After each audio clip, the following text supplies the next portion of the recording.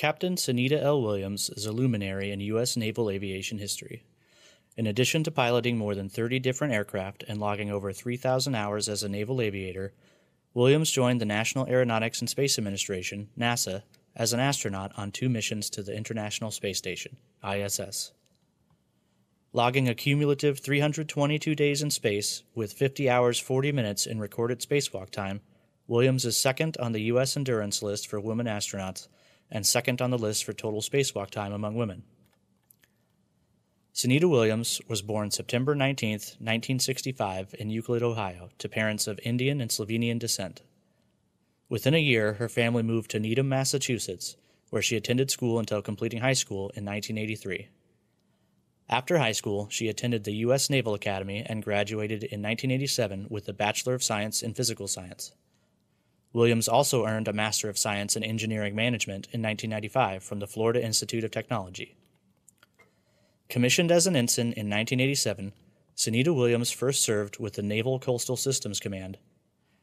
She then reported to Naval Aviation Training Command, where she completed aviation training and received her wings in July 1989.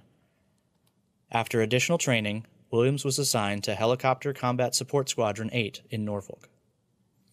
From Norfolk, Williams deployed to the Mediterranean, Red Sea, and Persian Gulf in support of Operation Desert Shield and Operation Provide Comfort the latter mission providing military assistance and humanitarian aid to the Kurdish peoples of northern Iraq in the aftermath of the Gulf War. In 1992, Williams served as officer in charge of an H 46 Sea Knight detachment aboard USS Sylvania, AFS 2, during relief efforts following Hurricane Andrew. Williams then attended the U.S. Naval Test Pilot School at Naval Air Station Patuxent River in Maryland. After completing the course, she was assigned to the Rotary Wing Aircraft Test Directorate as a chase pilot for flights of the V 22 Osprey. While serving in this role, Williams performed the duties of Squadron Safety Officer, undertaking test flights of numerous aircraft, including the SH 60 Seahawk and the AH 1 Whiskey Super Cobra. Williams returned to the Naval Test Pilot School in 1995 as an instructor and safety officer.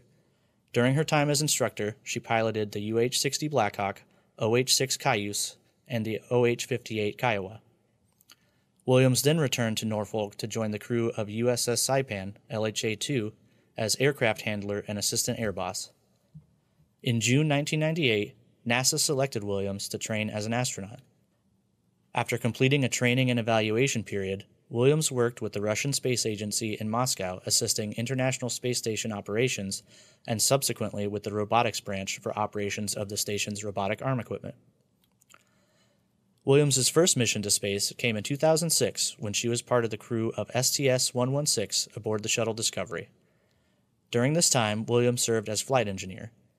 She completed four spacewalks, totaling 29 hours 17 minutes, then a world record for women astronauts. Astronaut Peggy Whitson soon broke this record in 2008. Another milestone came when Williams became the first person to run a marathon in space, which coincided with the Boston Marathon in Massachusetts. Williams and the rest of the crew returned to Edwards Air Force Base, California in June 2007. Williams made a second journey to ISS in support of Expedition 3233 when in July 2012 she launched with the crew of Soyuz TMA 05M, once again serving as flight engineer. During this second mission, Williams became ISS commander and she retook the record for spacewalk time among women astronauts when she brought her total to 50 hours 40 minutes.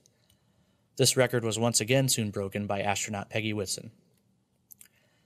Williams performed another athletic feat when she became the first person to complete a triathlon in space, coinciding with the Nautica Malibu triathlon held in Southern California. This mission ended on November 18, 2012, when Williams and her crew touched down in Kazakhstan.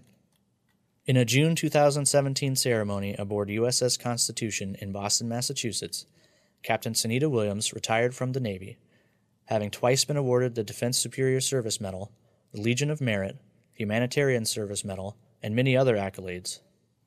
In recognition of her career and achievements, Needham, Massachusetts dedicated Sunita L. Williams Elementary School in October 2019. Williams continues to work for NASA and is assigned to participate in the first crewed operational mission of Boeing's CST 100 Starliner to the ISS, currently planned for late 2021.